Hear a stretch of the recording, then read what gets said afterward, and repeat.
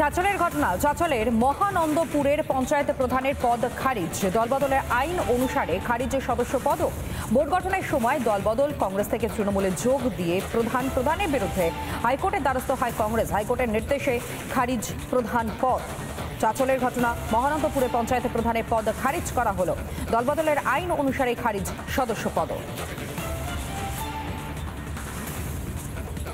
মহানন্দপুর পঞ্চায়েতের প্রধানের বিষয়ে মাননীয় বিডিও সাহেব যে নির্দেশ জারি করেছেন, সেটা বিচারাধীন হাইকোর্টে রয়েছে, সেটা নিয়ে আমার কোনো মন্তব্য নেই। কিন্তু মহানন্দপুর পঞ্চায়েত তৃণমূলের দখলে ছিল, আছে এবং ভবিষ্যতেও থাকবে। সাহেব সাহায্যও করেননি, বরঞ্চ উনি হেয়ারিং করেননি। আমরা হাইকোর্টের দ্বারস্থ হয়ে অর্ডার না আনলে এই বিডিও সাহেবও হয়তো একটু অসুবিধায় থাকতেন। তা হাইকোর্টের দ্বারস্থ হওয়ার পর এই বিডিও সাহেবের পক্ষে সহজ হয়ে যায়। বিডিও সাহেব যেহেতু হাইকোর্ট বলেছিল চার সপ্তাহের মধ্যে হেয়ারিং করতে হবে।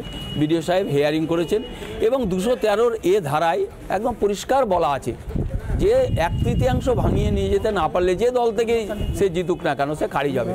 সেই ধারা অনুযায়ী খারিজ হয়েছে।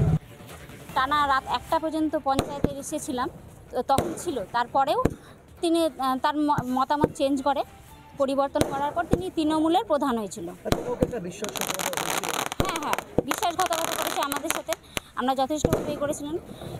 এবং এখন যে আমরা তাতে, তাকে খারিজ করতে পেরেছি, এই জন্য আমরা প্রশাসনের, প্রশাসনকে অনেক ধন্যবাদ জানাচ্ছি।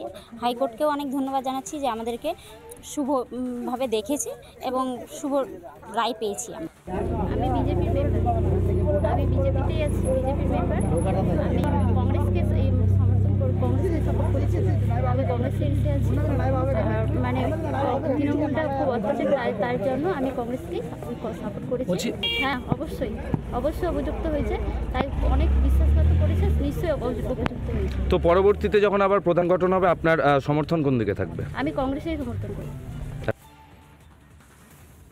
চাঁচলের মহানন্দপুরে পঞ্চায়েত প্রধানের পদ খারিজ এবং দলবদলের আইন অনুসারে খারিজ সদস্য পদ ভোট গঠনের সময় দলবদল এবং কংগ্রেস থেকে তৃণমূলে যোগ দিয়ে প্রধান প্রধানের বিরুদ্ধে হাইকোর্টের দ্বারস্থ হয় কংগ্রেস। হাইকোর্টের নির্দেশে খারিজ প্রধান পদ।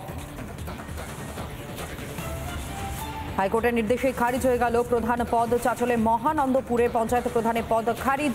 দলবদলের আইন অনুসারে খারিজের সদস্য পদ যেমনটা খবর পাওয়া গিয়েছে যে বোর্ড গঠনের সময় দলবদল এবং কংগ্রেস থেকে তৃণমূলের যোগ প্রধানের প্রধানের বিরুদ্ধে হাইকোর্টের দ্বারস্থ হয়। এরপরই কংগ্রেস এবং হাইকোর্টের নির্দেশ এবং সেই নির্দেশেই খারিজ হয়ে যায় প্রধান পদ।